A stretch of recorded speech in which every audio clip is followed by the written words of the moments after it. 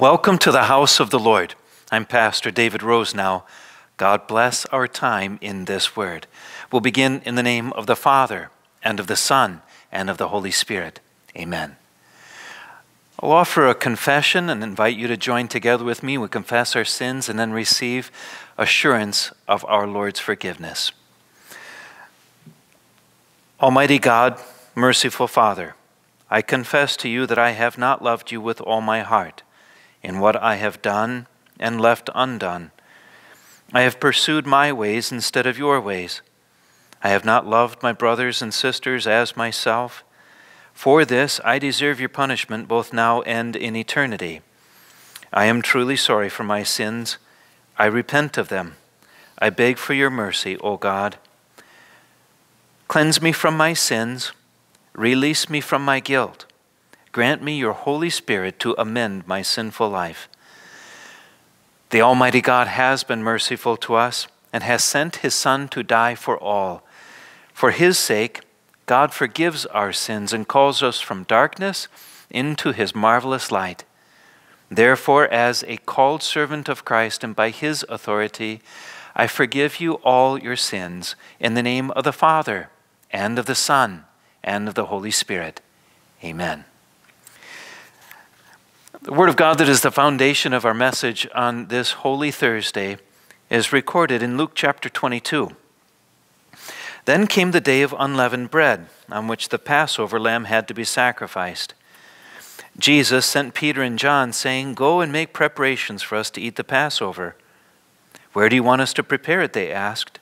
He replied, As you enter the city, a man carrying a jar of water will meet you. Follow him to the house that he enters, and say to the owner of the house, the teacher asks, Where is the guest room where I may eat the Passover with my disciples? He will show you a large upper room, all furnished. Make preparations there. They left and found things just as Jesus had told them, so they prepared the Passover. When the hour came, Jesus and his apostles reclined at the table. And he said to them, I have eagerly desired to eat this Passover with you before I suffer. For I tell you, I will not eat it again until it finds fulfillment in the kingdom of God. After taking the cup, he gave thanks and said, Take this and divide it among you.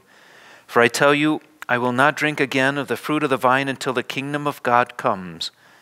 And he took bread, gave thanks, and broke it, and gave it to them, saying, This is my body given for you. Do this in remembrance of me. In the same way, after the supper, he took the cup, saying, this cup is the new covenant in my blood, which is poured out for you. The word of our God. I'll add a short prayer for the Lord to help focus our thoughts and our attention on the good He has for us in this message. Lord, open now my heart to hear, and through your word to me draw near. Let me your word ere pure retain, let me your child and heir remain. Amen.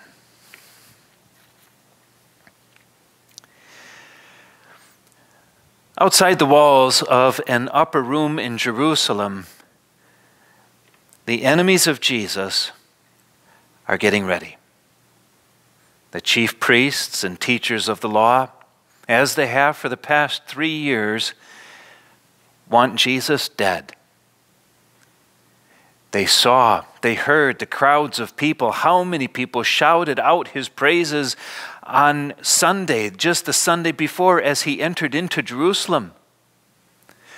So they were hesitant to arrest him. They were afraid because of the crowds, many who thought that Jesus was a prophet. But this night was different. This night was different because they had one of Jesus' own disciples on their payroll who had agreed to betray him. The next 24 hours would be filled with treachery as their plan, and without them realizing it, was also and at the same time all along God's plan unfolded. Soon the mob would arrest Jesus in the garden. The trials would begin before Annas, Caiaphas, Pilate, Herod, back to Pilate again. The crucifixion his death, placing his dead body in the tomb. All of that and so much more was coming. But for a few hours in this upper room, it's just Jesus and his disciples. And how he longed to eat this meal with them.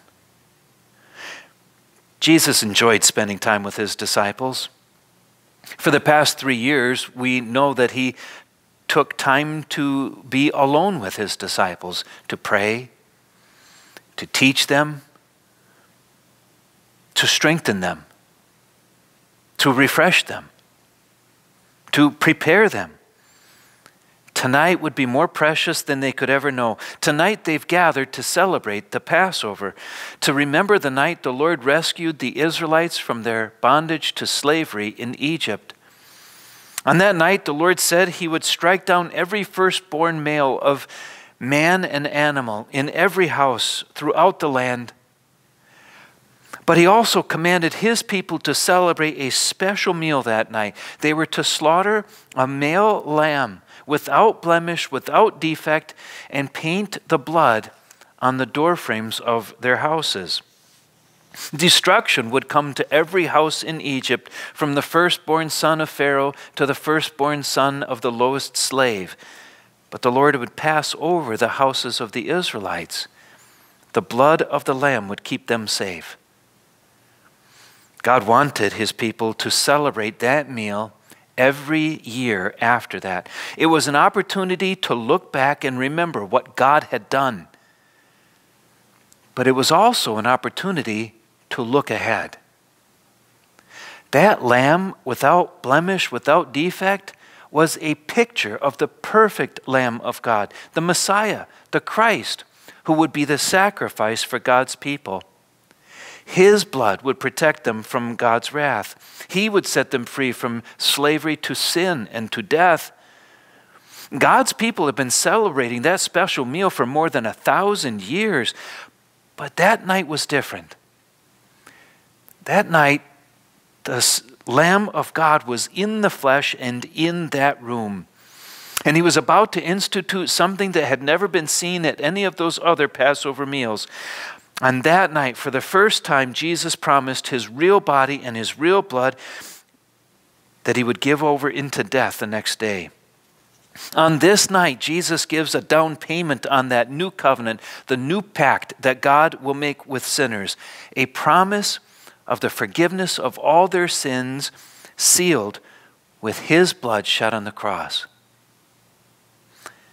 In this room, Jesus institutes a meal that will be celebrated not only every year, but countless numbers of times in every year that's been celebrated for the past 2,000 years and counting.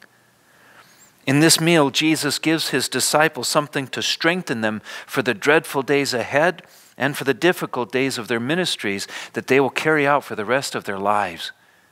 No wonder Jesus eagerly desired to eat this meal with them before he suffers. And we must know how eager he was for what he knew would come after. Jesus told his disciples that he would not eat this meal again until it finds fulfillment in the kingdom of God. He also said that he would not drink again from the fruit of the vine until the kingdom of God comes. What did he mean by that? The kingdom of God is his rule in grace over all believers and in glory for eternity. The prophets of the Old Testament and Jesus both spoke about this blessed relationship between God and his people as a festive fellowship meal in his kingdom. This communion is made possible only by Jesus' perfect life and innocent death. And it also looks forward to what the Bible describes as a heavenly banquet an eternal feast of peace and joy where no enemies will be lurking outside, no enemies will be inside. It will be only God and His people forever. How we long to take our place with Him at that table and enjoy that meal. Because the only life we know now is a life where we are surrounded by enemies. So many people that we see and hear and read about every day are still putting God on trial, God and all who believe in Him. So many do not honor God's word. They teach children anything and everything but what God's word says and how He says He wants all to live. And behind all of that is our greatest enemy, the devil. He has his troops, his evil forces who are always prowling, ready to pounce. As if our sinful nature that causes us so much trouble is not enough, hostile forces scheme and conspire all around us. And that's why it is so good for us to be here in this room, in God's house, to gather with God's people. And not that we don't bring sin in here with us.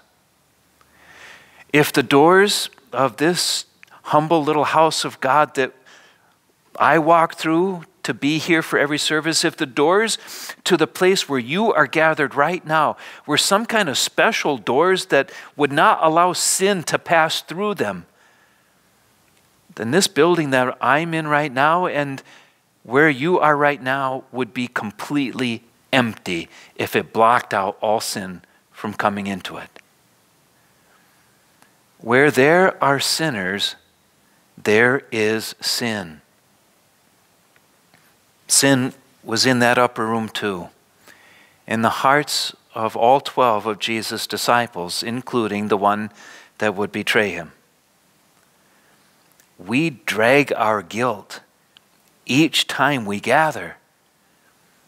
Our guilt for all the many times that we have been far too easy prey for our greatest enemy and didn't even make it hard for him.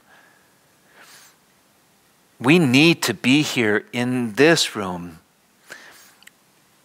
to be assured that Jesus is present with us, to have Him remind us that His blood covers over our sins and causes God's wrath to pass over us too. Here He reminds us that the kingdom still belongs to Him. He rules in power over all things and that means over all enemies.